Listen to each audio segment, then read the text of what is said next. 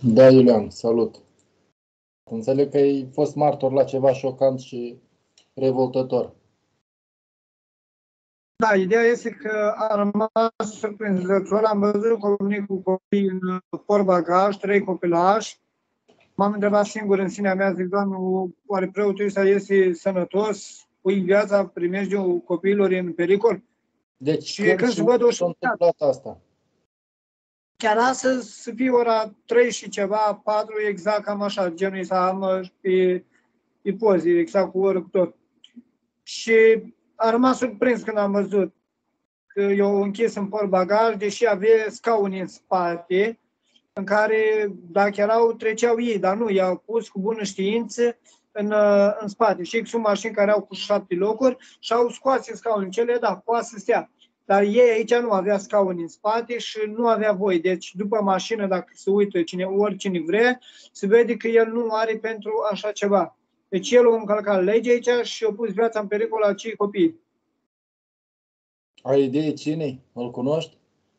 Uh, nu, din câte am auzit, au fost niște vecini pe aici și spunea că stă aici în cartier lângă acest lider din zonă de aici, nu-i prima dată. Și spunea că sunt și, din câte am înțeles, așa surse chiar în seara asta mai devreme, că sunt și tineri care chiar aici în parcarea acestui lider vin și conduc mașini fără permis, turează motoare la maxim, gălăgie, pe lângă primărie și nimeni nu aude, nimeni nu vede. Primăria cui?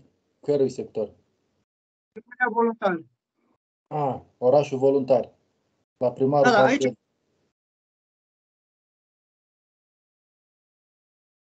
Și mai încă un anunț care să știe toată lumea, fiindcă am primit și noi notificare astăzi, că de luni se vor închide la ora 20 toate magazinele, toate hipermarketurile nu vor mai fi până la ora 10 cum erau până acum.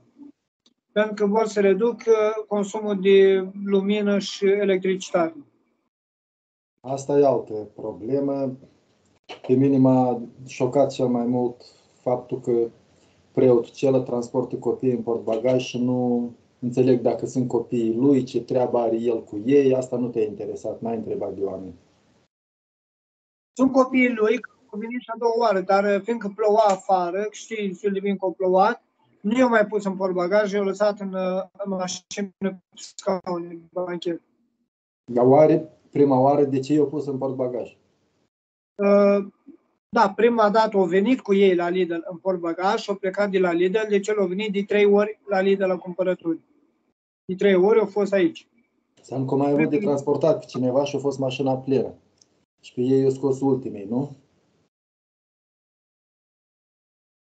Nu, eu am văzut că eram acolo afară și m-am uitat exact când au deschis, erau copii și nu era mașina plină, erau trei copii, are doi băieți și o fată și a rămas în preț. au coborât probabil mai devreme, altfel de ce i-ar fi ținut în portbagaj?